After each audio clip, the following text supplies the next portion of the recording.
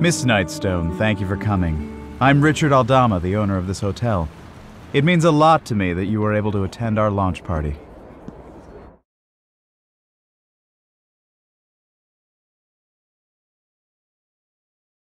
I'm a big fan of your books, though I must say your ghost stories are a bit over the top. Maybe you could write about the hotel instead. Give it some of your literary flair?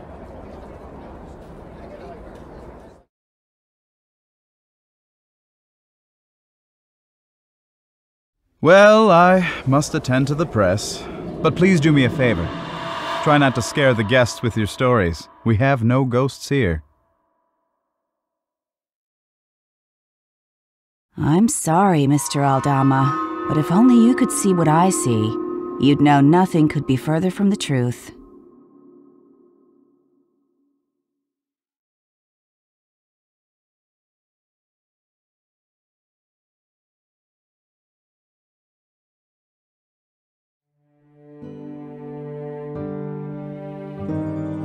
I suddenly felt very weak, like the room was fading away. What's happening to me?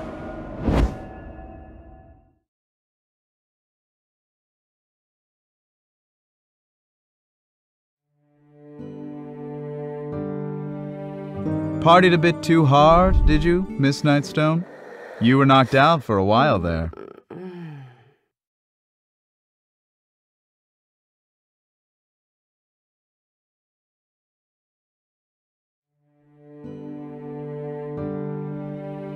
What is it that the ghost wanted me to see?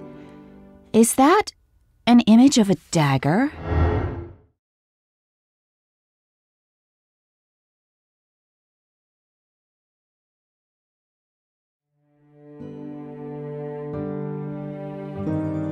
Oh no, I hear footsteps coming my way.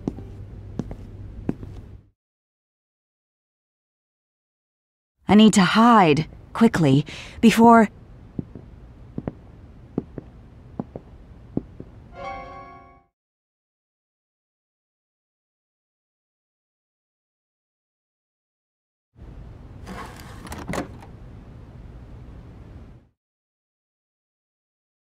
The local police station might have the answers to my question, but most importantly, I do hope nobody thinks to look in this dumbwaiter.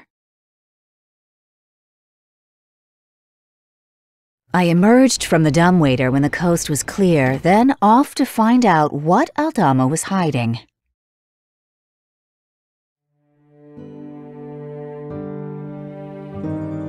So Joel Aldama bribed the police to take the dagger back to his estate. But why?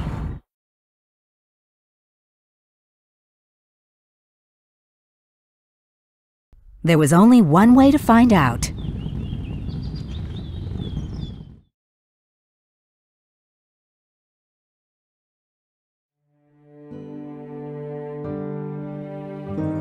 Luckily for me, Pedro was eager to show me around the estate. The manor was just beyond the vineyards. Could the answer to the mystery be there?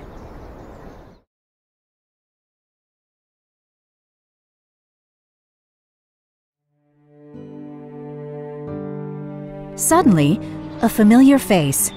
It was Richard Aldama. He had spotted Pedro. Poor Pedro. I couldn't believe Richard locked him up. I had to get him out.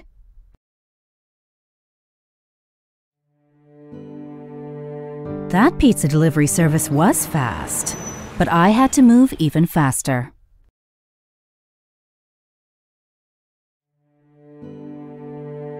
Once more, I was warned by some heavy footsteps.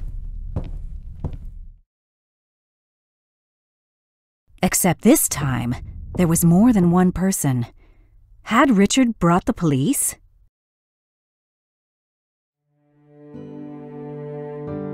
I had finally gathered enough clues.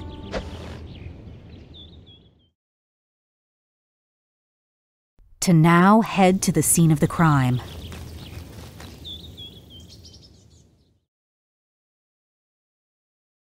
In her journal, Gabriella left clues about her real murderer.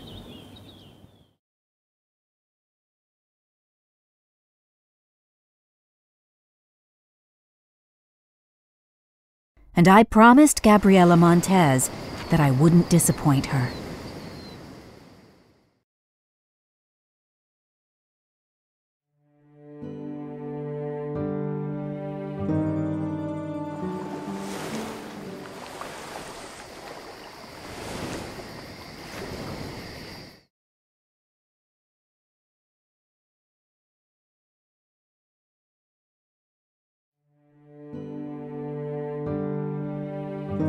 This handkerchief might have belonged to the murderer. Could it possibly still be here?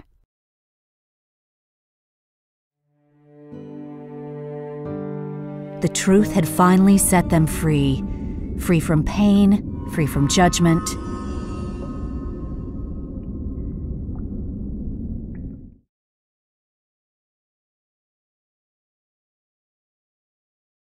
Two souls that had found forgiveness two souls now at peace.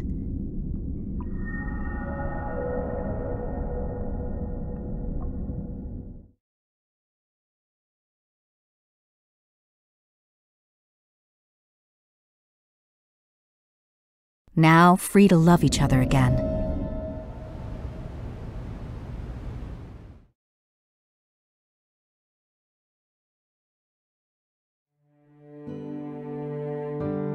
Carlos Montez asked for my help in searching for a lost will he had seen as a young boy. A will concerning the return of the vineyards to the Montez family.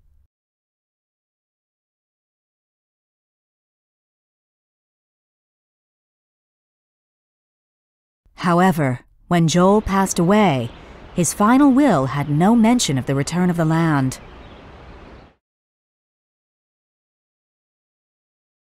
Carlos believed that the original will of Joel still resided somewhere inside the Aldama mansion.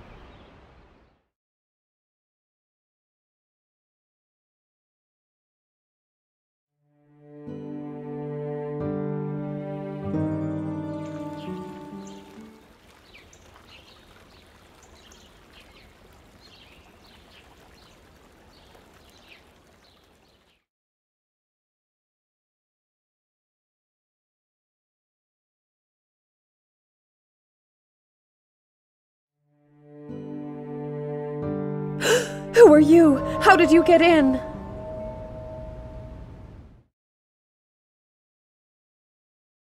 I. I am going to call the cops.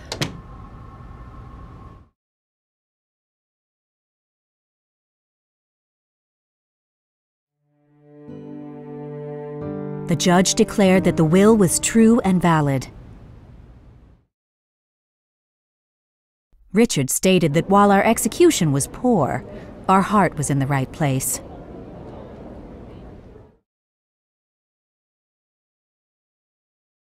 He dropped the charges against us and vowed to fulfill Joel's wishes without any further action by the court. Weeks later, I received a letter from Carlos telling me that all is well between the Aldama and the Montez family. Richard and I are working together and sharing the property since it's more than the Montez family would ever need. Hey, Bandit. Look who it is.